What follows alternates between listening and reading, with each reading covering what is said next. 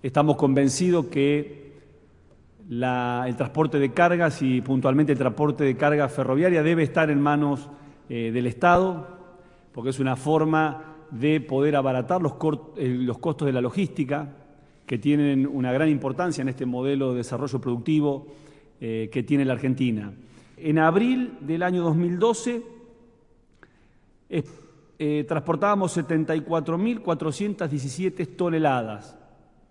En abril del 2013 hemos transportado 81.572 toneladas. Incrementamos el 10% ya la capacidad transportada del Belgrano Cargas a partir de la intervención.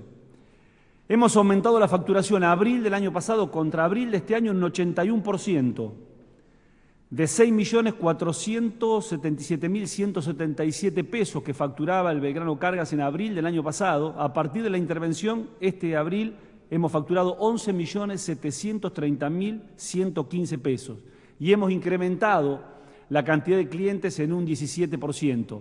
Empezamos a diversificar lo que hoy transporta eh, la línea Belgrano Cargas.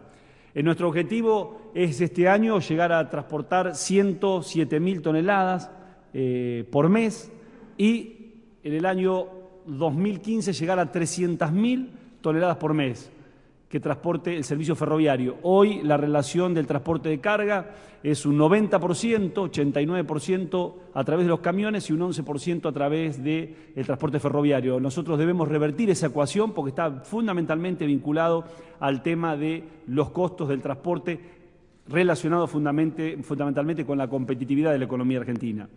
Lo importante acá es eh, que, como ustedes saben, yo soy un defensor del Estado, creo que el Estado eh, cuando hay decisión política y hay gestión es mucho más competitivo que el sector eh, privado.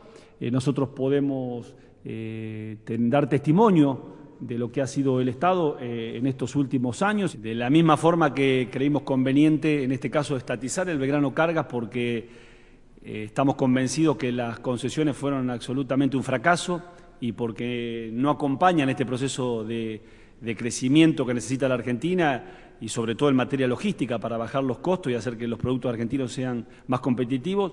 No, no descartamos tampoco hacerlo en materia de transporte de pasajeros si es que las unidades de gestión operativa no cumplen con el objetivo que nosotros nos hemos trazado, que es que los pasajeros viajen todos los días un poco mejor.